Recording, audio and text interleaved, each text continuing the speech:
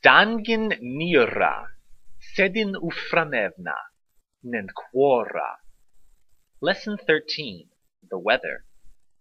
One common aspect of conversation is discussion of the weather. To ask how the weather is, you say, Eldu nenquora mok.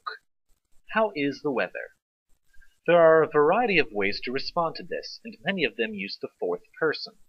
For example, there are three verbs of precipitation: apunoi, to rain; difroi, to snow; khekwoi, to hail. To describe a current, past, or permanent weather condition, you'd conjugate one of these verbs in the fourth person. For example, apunnoser would be it's raining. Difreteser would be it snowed. Khekuhuser would be it hails all the time. Some other fourth person expressions involve the temperature.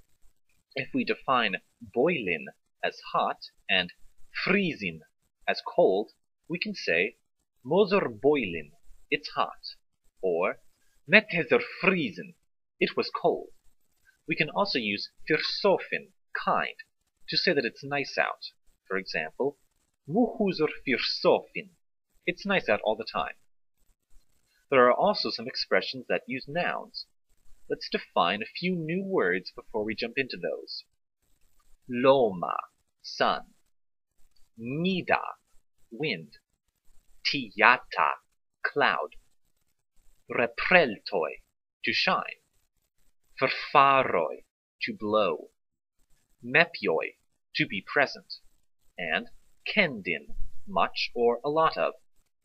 So we can say, Nen loma repreltok, the sun is shining, or it's sunny. Or, Nen mida the wind was blowing, or it was windy. Or, Nepiuhuk kendin tiyata, there's a lot of clouds, or it's cloudy. Notice how kendin is the adjective form of kend.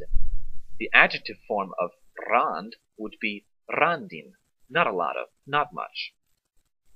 One of the biggest parts of weather discussion is not what's going on right now, but predictions of what the weather will be like. To do that, you'll need to learn the future tense. So far, we've had the tense markers o for present progressive, uhu for nomic, and ete for the simple past. For the future, the tense marker is oli. So to conjugate repreltoi in the future singular would be repreltolis, I will shine. Repreltolin, you will shine. Repreltolig, he, she, or it will shine. And repreltoliser, one will shine. And remember, you can add eb to those first three to make them plural. So for example, the precipitation verbs in the future would be apunoliser, it will rain, difroliser, it will snow, and khekwoliser, it will hail. Next, we're going to learn about months and days of the week. These function exactly as in English, just with different names. Since you know the names of the days in English, I'll just give the literal translation of each day in Dangin Nira. Lomfolma, Sunday. Ansfolma, Moon Day. Hakesmfolma, Conflict Day. Azlgfolma, Middle Day. Beverfolma, Thunder Day. Volrfolma, Play Day. And Sondfolma, Death Day. The word for day is folma, and the word for week is nihata. Some of the months are simple transliterations from English and other languages. Yanvarya, January. Febrarya, February. Aprela, April. Yulya, July. And Augusta, August. Others are translations of the original meaning behind the months. March is hakesma, conflict. May is egumomrma, fertility.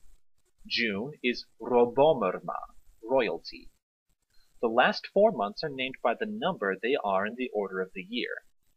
September is viromrma, ninethness.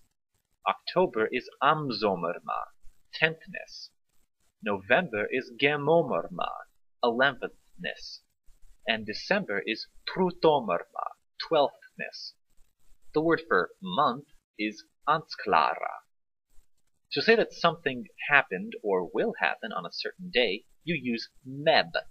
For example, Difroliser meb Ansfolma would be it will snow on Monday.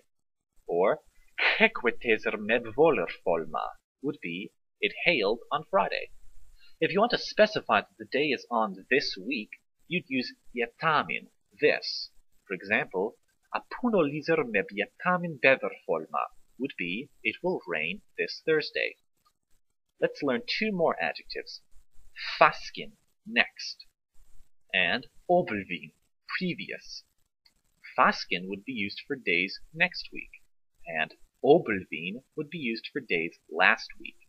For example, Die fretezer meb oblvin hakesmfolma or bent die frolizer meb faskin hakesmfolma would be it snowed last Tuesday and it will also snow next Tuesday.